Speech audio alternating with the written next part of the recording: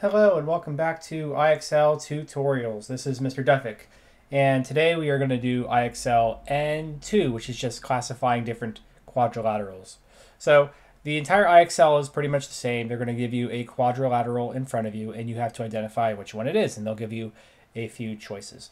Um, most of them are going to be choose all that apply because just because a quadrilateral is classified as one thing doesn't mean it cannot be classified as another. So uh, first things first, we have this shape and we'll go through each option here and talk about why or why not they correlate. So a rhombus is a shape that has four equal sides, and that's all there is to it. Uh, that's the only requirement. So it can be kind of a diamond shape or it can be a square or something. Um, as long as they have four equal sides, it's going to be a rhombus. So here we see there is no indication that has four equal sides.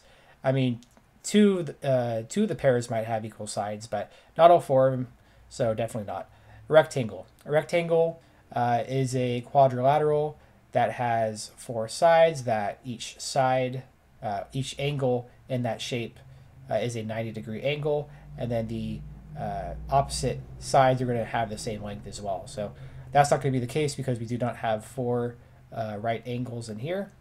Is it a square? Well, a square is a stricter form of a rectangle. Uh, a square needs all four 90 degree angles or right angles uh, and it also needs all four equal sides, which this clearly does not.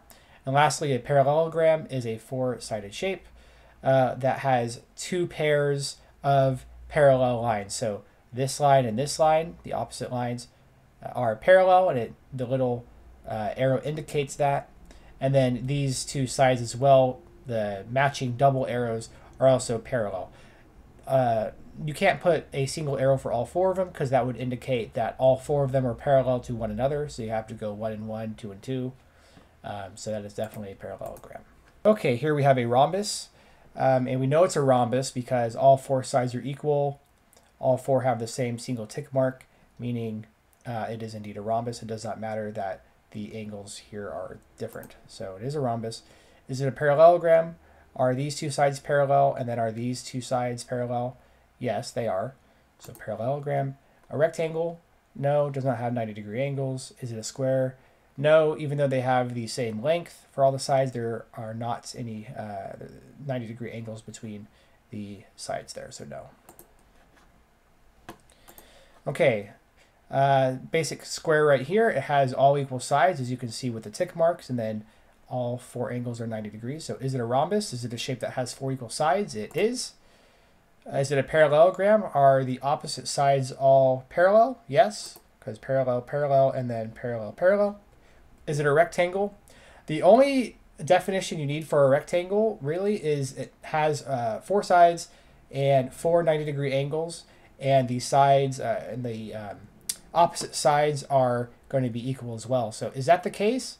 Well, yes. So a square is a uh, stricter version of a rectangle. A square is a rectangle except uh, all four sides are equal. So a rectangle it is. Again, the uh, sides do not have to be different. They can all be the same like this and it's still classified as a rectangle. So is it a square? Yes, it is. It has all 90 degree angles and all the sides are the same. So it's everything. Okay. Shape right here. Is it a parallelogram? Are the opposite sides parallel? Parallel, yes. Is it a square? No, because not all the sides are the same. Is it a rectangle? Uh, yes, 90 degree angles and the uh, sides are going to be the same. Is it a rhombus? Are all the sides equal? No. Uh, which terms describe the shape? Is it a square? No. Rectangle? No. Parallelogram? Yes. Opposites and opposites are parallel. Is it a rhombus? No, because not all four sides are equal. Okay, is this a kite? The kite is kind of like a diamond, um, except two of the sides are going to uh, be touching. They're going to be adjacent.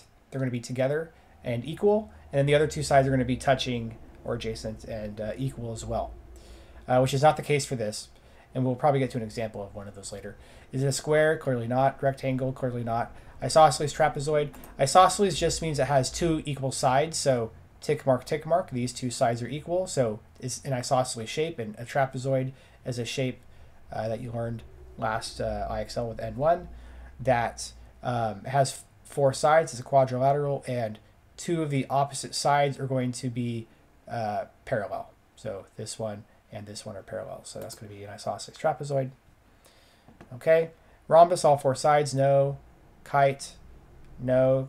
Parallelogram, no. Quadrilateral, yeah. Quadrilateral, again, is just a shape with four sides. So that's all it's going to be there. Okay, uh, is it a rhombus? Yes. Parallelogram, yes. Rectangle, no. Isosceles trapezoid, no. And square, yes. I mean, no. I don't know. I said that. Yes, as in it's uh, correct that it's not, I guess. Um, okay, is it a rhombus? No. Kite. Ooh, okay. This would be a good example of a kite. So this is what I was talking about. We have two sets of equal sides. So we have this side and this side that are congruent, right? Take a mark. And they're adjacent. They're together. And then we have two other sides that are congruent, that are the same. And they are also adjacent. They are together, right? So we have same, and then these two are the same. They're all together. So this would be an example of a kite, right? Is it a quadrilateral? Does it have four sides? Yes. Is it an isosceles trapezoid? Uh, no, it is not.